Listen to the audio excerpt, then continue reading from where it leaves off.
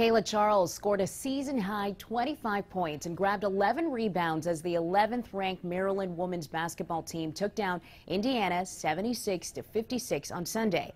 The Terrapins scored 20 points off 20 Indiana turnovers and shot 44% on the night.